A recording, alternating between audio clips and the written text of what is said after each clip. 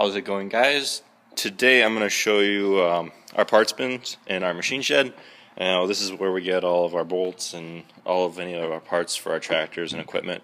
Um, first, I'm going to show you our old parts bin, which um, we just kind of threw everything in, and we had a small parts bin over on the left where we kind of had things sorted out, but we didn't have them labeled, and we didn't really know where everything was. We just kind of kind of threw it around, but this is our old parts bin.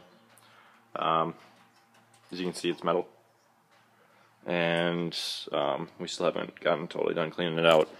But um, we had parts of it labeled, but over the years it's just kind of gotten a lot of really cluttered and the dust has really accumulated in it.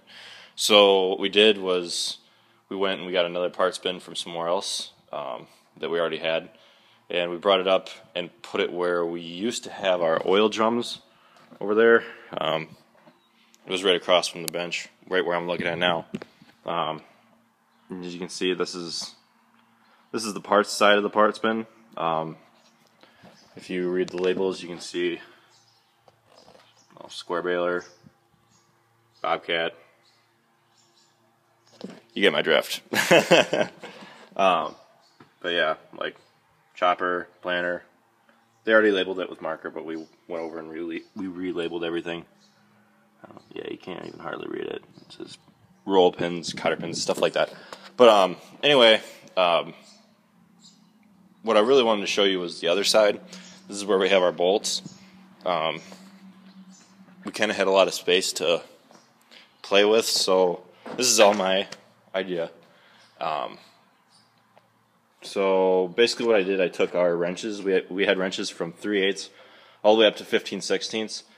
Um, those are our most common ones. Um, maybe not so much on each end, but like we have a lot right in the middle. So let's say at the bottom of the spectrum, um, we have 7 sixteenths. We this would be 3 eighths, but we didn't really have enough 3 eighths, so I just labeled it screws. Um, but going across, in this row, this is the row that I took everything off of. This is where we have our bolts. We have like 5 sixteenths, 3 eighths. Um, actually, that's 3 eighths bolt. Um, and 9 sixteenths wrench, I should say. Um, 5 eighths wrench, 3 quarter wrench, 13 sixteenths wrench. You get my drift.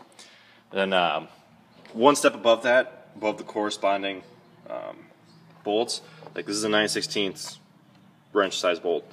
So up here we have 9 16ths long bolts. And then above that, I put 9 16ths carriage into there. So basically all of one size is directly in the row. Um, if you have a lot of space or bin like this, this is a really good idea because it gives us an idea of like how many bolts we have and um, what we need. But uh, below the bolts, I had nuts, just regular regular nuts.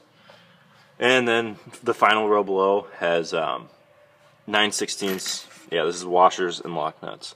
So um, any of these washers will fit around the 9 sixteenths bolts. Um, it's really basically what I did to sort it out is I took the size wrench and I put it in each of these.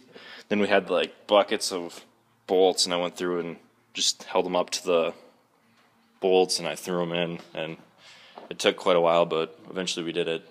Um, then on each side, since we have some bolts that are bigger, I have one inch and up size wrench. So any that are any bolts that are really big, we just throw them in there. And we don't really use metric a lot, so we made a bin just for metric. Um, miscellaneous U bolts, um, and just more washers and lock nuts. Um, up here we had we had a lot of fine thread, threads in this to begin with, so we just kind of put them in these. And um, down here, any of our random carriage bolts that we didn't really take the time to sort through, we put into here, which is our bottom right bin. Then um, flat washers, lock washers, random nuts, and uh, pipe fittings. And I don't believe this one, yeah, out of this entire thing, this is the only one we don't we don't have any anything in. So um, other ones we have are tin screws, regular screws and 3 eighths and smaller. So this is for our really small stuff. Today we are square baling and here are two workers. How's it going guys? Great. Fabuloso, right? Yeah, they're kind of weird. All right, so I hope you enjoyed this video, and I'll see you later.